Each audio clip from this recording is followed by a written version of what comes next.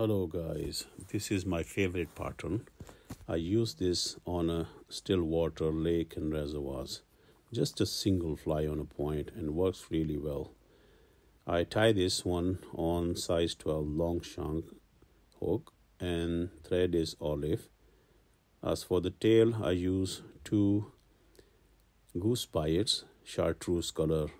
If you catch them on the bend splitting apart on either side and lock them all the way and just smooth up the body. Make sure they're sitting okay. As for the body as usual I use this beading elastic one millimeter thick. And if you burn it one from one side and pinch it and stretch it it thin it down nicely and then you can catch it. Great part uh, great material and it is it makes a really nice body. I use this quite a lot. Adding some olive permanent marker on the body to make some strong olive color. Now bring it towards the eye by using touch and turn and lock it. Just leave enough space for the thorax.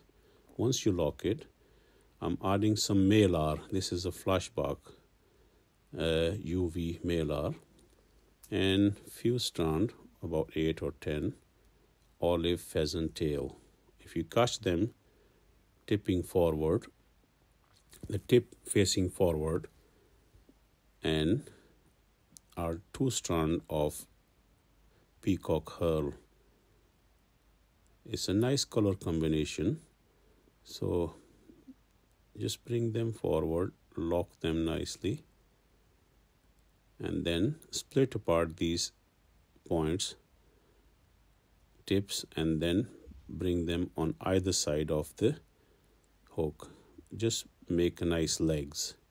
Bring your pheasant tail cover it and flashback material. And finish off by making a nice and smooth head.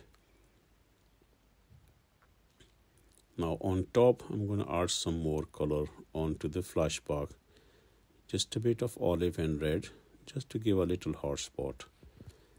And cover it with the UV resins and cure it. Also a nail varnish to seal the head. This is a great pattern for lake and reservoir. Makes a nice olive nymph and catch a lot more fish. I hope you enjoy this video. Please do like and subscribe my channel